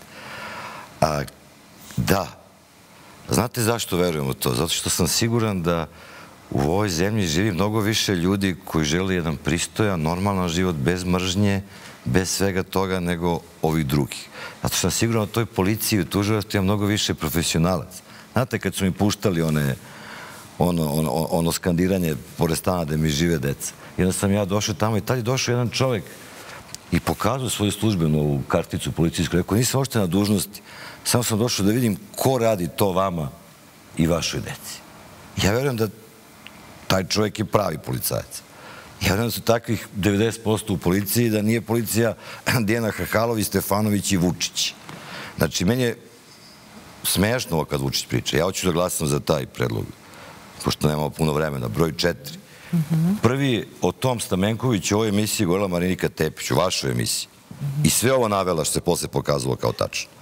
A oni sve ne viču, vi lažete, vi lažete. Sve se pokaže kao ta. I to, i EPS, i Aseko, i svaka ta afera, Krušik, Obradović, veliki čovek, Bora, da se ovde nešto menja, sve se pokazalo kao tačno. I sad dođe Vučić i kaže, pa ne mislim da sam ja ubio. Pa niko nije rekao da si ti ubio. Ali mi kažemo da si ti doveo Dijanu Hrkalović u policiju, da njima došla sama iz požarec, rekla, evo mene, oni rekli, pa gde si Dijana, tebe čekamo, što reče, pa nikad Dijana kućo stara. Nego je ona došla sa Vučićem, mislim. On je stavio tamo, ona je dovela sve te ljude na, na ta mesta u policiji, sklonila prave policajce. Da, Oni su kontrolisali Belivuku ekipu. Belivuku ekipa išla po Beogradu u blindiranim automobilima, sa blindiranim prostorom na stadionu Partizana, sa značkama policijskim, s obezbeđenjem. Da, skinut je DNK sa mesta ubistva Orža Vašingtona. Godin i po dana nisi Vučiću progovorio o tome. Nisi imao priliku u medijima, šta? Pa sad ste kao to otkrili. Da, vi ste ih napravili. Da, vi ste Saveta Mutog držali na slobodi, imao je osudu pet godina zatvora u, još pred 2012. Da, vi ste to uradili. Da, ti snosiš odgovornost za ta ubistva tih ljudi. Jer su Belivuk ekipa morali budu u zatvoru. Znači, to je suština. I zato je taj predlog broj četiri. Zato što u njemu sve imate. Sve to imate. I imate te odgovore besmislene. A opet da vam kažem, mi možda pričamo o svemu tome. Znate na što se na kraju svede sve u ovoj zemlji? Svede se, hoće biti banalno možda nekom, svede se na to da za 10 godina ode meso poskupilo sa 495 na 980 dinara. Brašno sa 45 na 75. Mleko sa 65 na 100 i tako dalje. Na to se svede. Da ovaj narod nema, ne može da živi više. I da to mora da se promeni. I mi kažemo kako će da se promeni. I da, i cela opozicija zajedno. Sve od time završavam. Slažem se i ponovio sam više puta istu rečenicu koju je rekao Dula na drugi način. Svi koji se danas bore protiv ove vlasti u politici, hrab ljudi kao Dule što ušao, kao Vladeta Janković, kao mnoge nestranačke ličnosti koje su ušle na liste, opozicija, oni su svi heroji. Jer ovoj zemlji od te borbe imate samo posljedice negativne. Ali, ali šta vi kažete ovom čoveku koga smo slušali pre pet minuta i koji kaže, oprostite, ali ja nemam za koga da glasam. Mogu li ja tu nešto da kažem? Možete. Nemam, dosta, nemam, dosta nisam čuo. Dosta ličnosti koji imaju integritet su zvane, na primjer, da budu predsjednički kandidati u ovoj... Ajmo ljudi. Neće ljudi da se izlože. Nalaze razne alibije i... Pa, mislim, u suštini se pametno ponašaju. Druga stvar. Ima Kavafi, Konstantin Kavafi, stotinjak pesama i ima jednu, jednu divnu pesmu. Jednu od tih, mi svakamo je divna. I govori u to antičkoj doba, vraća se čovjek iz jedne zemlje u svoju, otprilike e, neki iz Rusije, neki Ukrajinac. Počinje rat između te dve zemlje. I kaže, ponudit će svoje usluge prvo tome vođe. Pa će ići kod ovoga drugoga, pa će ići kod ovog trećeg, ima troje vođa. Ako ni jedan od tih, e, jedan od tih kretena će imati potrebu za, za njegovim uslugama. Kaže, nisam ja jadni kriv što nema četvrti idealni. Sigurno, da ima četvrti idealni, sigurno bi otišao kod njega. Ali oni koji ne vide danas da je bilo ko, pa i pokojni Miša eh, Baksuz, bolji od Vučića za ovu zemlju. Ako ne vide to, ako i treba neko da im otvara oči za to. I hrabrost je ostati uspravan pod pritiskom. Nemoj da jedne alibi, druge, treće, četvrte koriste, e, da, da ne izlaze na izbore, da, da, da ne stanu u listu, a spremni su da kritikuju, a kad treba da se uradi neka stvar konkretno, eto, imaju mnogo, iznad su situacije, imaju takve moralne kriterijume da mi koji smo tu, onako, nismo na tom nivou da bi se oni potrudili i da izađu.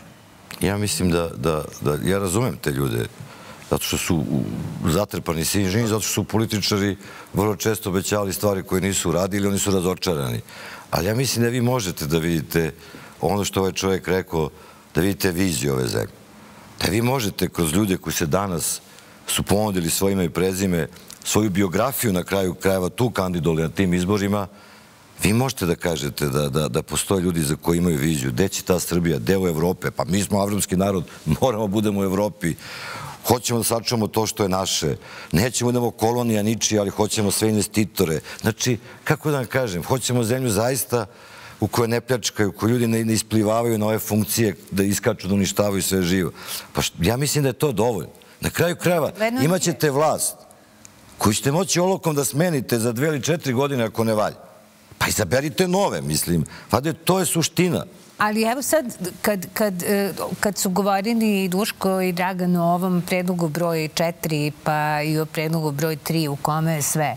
I sad kad kaže Dragan Đilas da na kraju krajeva imate olovku, pa možete smeniti vlast. Ukoliko bi sve ovo što smo videli i ovo što se govori, dakle, o, o nekoj prilično jasnoj sprezi između vrha vlasti i, i najgorih kriminalaca. Dakle, da li to unosi jezu da ti ljudi, ako je toliki ulog, mirno neće otići i neće čekati tog tužioca i tu pravdu? Tužilac je ovdje ključna reč. Uopšte nije stvar um, javnog diskursa da se raspravlja koji kriminalac radi za kog. To je posao koji ima da obavlja državni tužilac. Mi, to je kao da gledate, kako bih rekao, večernji akt bez slike žene. Tako mi gledamo državu bez slike tužilaštva, bez pravde, čiji je posao da radi nezavisno od dnevne politike. Ja ne znam, ne poznajem zakon, makar domaće zakone, ali ja sam čvrsto uveren da osoba koja obavlja, koja figurira, ako postoji, Zagorka Dolovac zakonski mora da odgovara za nečinjenje. Apsolutno. Dakle, ta žena mora biti svesna da će kata doći do promene vlasti i da ona neće biti na slobodi posle toga. Jer su posljedice njenog nečinjenja kataklizmične. Jer ono što ja znam, a ja se, kako bih rekao, krećem u mnogo manjim krugovima, ali interpretiram simptome, da ima masa tužilaca koji, s kojima su oduzimani predmeti, koji su pokretali istrage, koji su stopirani.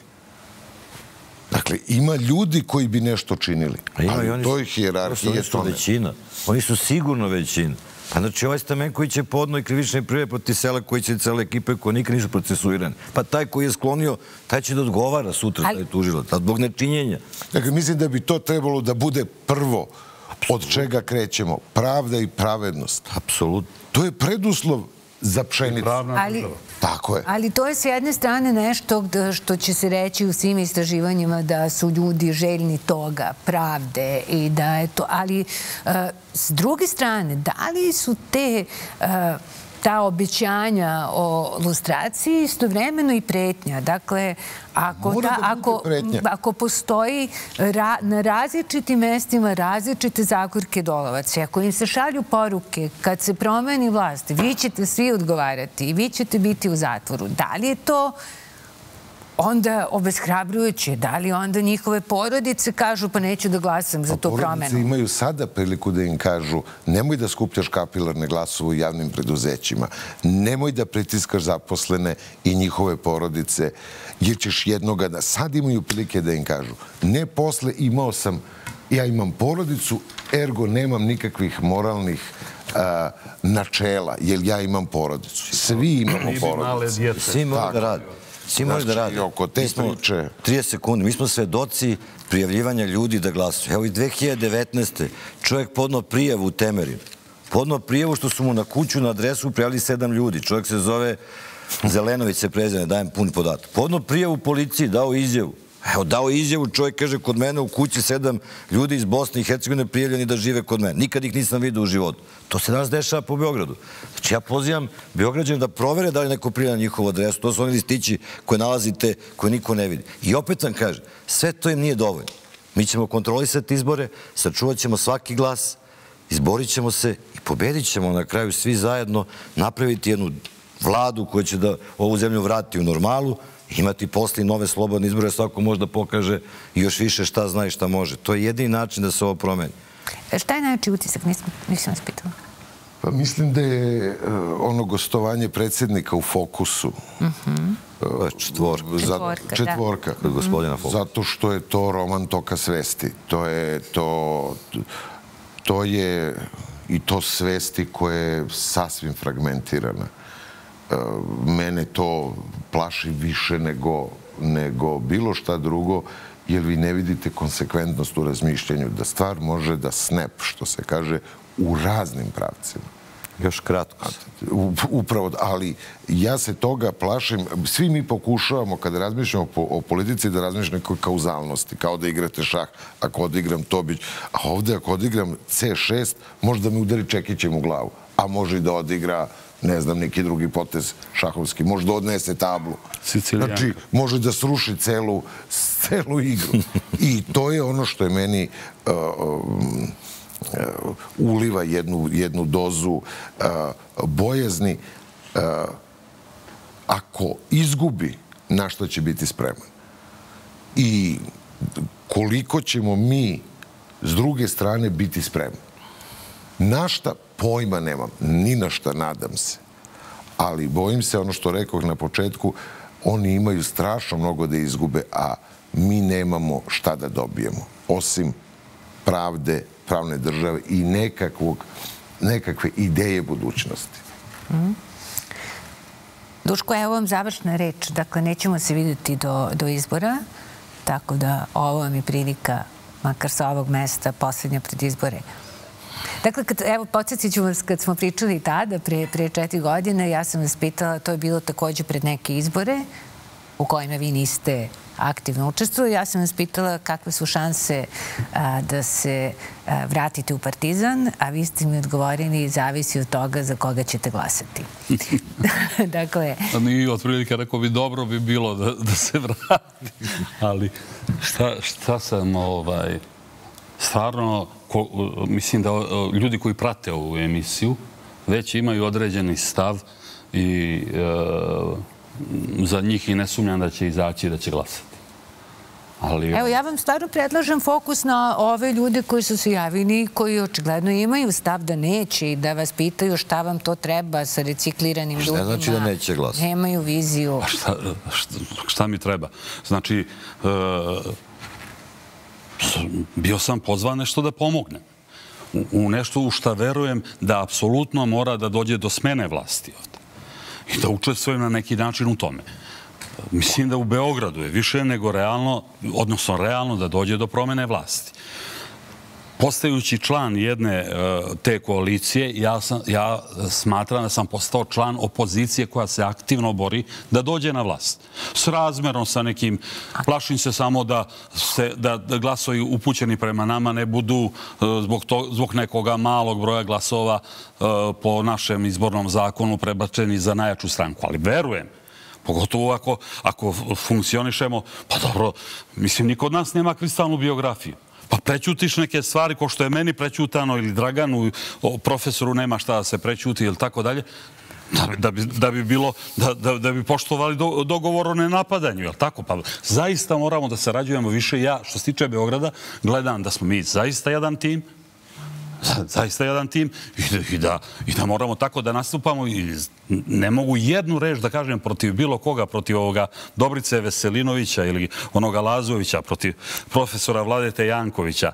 E, I očekujem s druge strane, u životu postoji reciprocitet ljubavi, mržnje, saradnje i svega. Očekujem da sa druge strane bude maksimalna saradnja u interesu višeg cilja, u interesu višeg cilja, a taj viši cilj je da dođe do promene ove vlasti. Saglasan.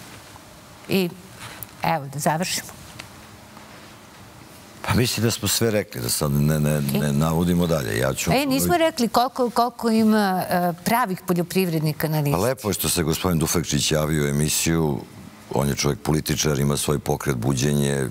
Oni su rekli će izaći na izbore sa Srđanom Škorom kao kandidatom predsjedničkim parlamentarnom listom. Da biste se bavili politikom, mora postoji organizacija, mora neko da skupi 10.000 potpisa, mora da postoje neki ljudi koji kontrolišu izbore, lako je pričati samo ovako. Ja mislim, sam jako puno pričao o poljoprivredi. Mi imamo čoveka koji se zove Dejan Bulatović, koji je poljoprivrednik i koji je obišao, ja mislim, 300 sela u Srbiji. Možete ga pratite šta čovek sve radi. Koga ti ljudi žaljuju kao čoveka koji se razume u to što radi i koji garantuje da ćemo mi ovo da uradimo, smo obećali. Ne znam tačan broj poljoprivrednika, mi smo koalicijona lista, ali evo ga i Miroslav Aleksić koji je treći na listi se isto bavi poljoprivredom, on živi od toga što proizvodnja jabuka i tako dalje. Ja ne znam šta još treba da bude dokaz ovaj, da, da, da ćemo nešto da promenimo. Ali mislim da je to sad pitanja, možete da odgovarate koliko hoćete. Ja mislim da je suština ome što mi večeras ovde pričaju. Ljudi, u ovom trenutku zaista izađete na izbore, a, glasajte za bilo koju listu za koju ste sigurni da neće biti sutra u vlasti sa SNS-om.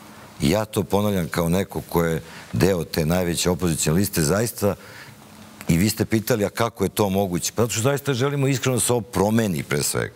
Da se ovo promeni, da dobijemo šansu da sutra zaista imamo neke normalne izbore, neku normalnu zemlju, da, da, da jednostavno da, da, da više ne živimo. Gde, gde god odete, se mi kažu, ovo je potpuni haos. I ovo nije normalno. To su dve reče koje se najviše, pa svi vidimo da nije normalno. Okay. A onda čovjek koji to širi nanudi mir i stabilnost. Stabilnost čega? Bede, siromaštva, kriminala, korupcije. Stabilnost toga nam nudite. Nemojte, molim vas. Hvala. Dosta ste bili. Ja mislim da završimo ovih 10 godina i da napokon počnemo da živimo ko ljudi. Hvala i vi ste večeras dosta bili. E, probušili smo termin. Najjači utisak proteka nedelje je predlog broj 4. E, Twitter je rekao da je najjači utisak predlog broj 5. E, hvala vam i e, ja se nadam da e, ste nešto čuli što niste već znali i da ste se pomerili na bilo koju stranu za malo. A za dve nedelje ko zna još koliko. Lako noć, hvala vam. Samo da dodam, dakle, i da je, kako pišu mediji, da se Belivog ponudio da bude svedok saradnik u slučaju ubistva Olivera Ivanovića, rušenja Sava Mala i čini mi se smrti Vladimira Cvijana, ako se ne vara. A vi stvarno mislite da sam ja nekog ubio od njih? A stvarno verujete u to? A mislite da postoji jedan čovjek u Srbiji koji to veruje? Mislite da iko od njih u to veruje? Potpredsjednica e, stranke Slobode i Plavde dakle, tvrdi da ste uhvaćeni u krivičnom delu, odnosno da ste vršili e, pritisak na policajca Gorana Stamenkovića da preuzme na sebe krivicu e, u rušenju Sava Mali. Kako navodi, za uzvrat će dobiti nekakvu uslugu. Pa me Jeste zanima... vi stvarno ozbiljni kada to govorite? Da li vi stvarno mislite da je moguće da predsjednik Republike, da predsjednik jedne zemlje učestvuje u ubistvima, u rušenju ne znam čega. Pri tome vam ja kažem da su mi rekli sam bih se u bager i porušio bih to u pobjela dana, a ne noću. Da, već ste da napravim, da napravim ovako divan Beograd na vodi, ovaj ponos Srbije, ne samo Beograda. Nažalost, ne mogu sebi da priuštim da tamo živimo, volao bih.